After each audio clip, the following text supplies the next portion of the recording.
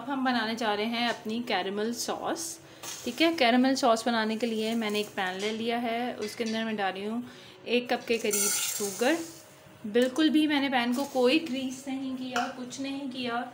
इसको बिल्कुल low flame पे इस तरह हिलाते जाना है, ताकि ये हल्की सी कैरेमलाइज होना शुरू हो जाए। ये मेल्ट होगी, इसका कलर चेंज होता जाएगा। साथ साथ आप देखते हैं।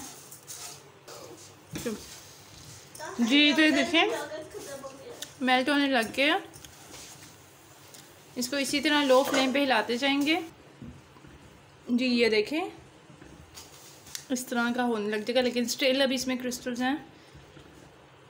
इसको अच्छे से हम कर देंगे। जी, ये देखें। ये बिल्कुल मेल्ट हो चुका है, कोई क्रिस्टल बाकी नहीं है, ये देखें। ठीक है? अब यहाँ पे मैंने फ्लेम को और हल्का कर दिया है। इसके अंदर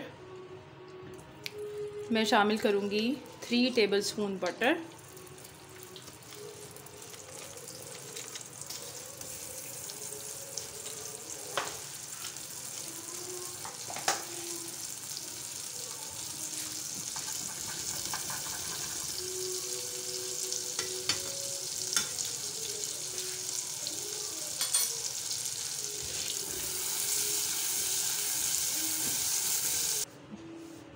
जी, अब ये देखें। इसमें मैं थोड़ी सी घर की जो बलाई होती है और थोड़ा सा दूध, वो शामिल किया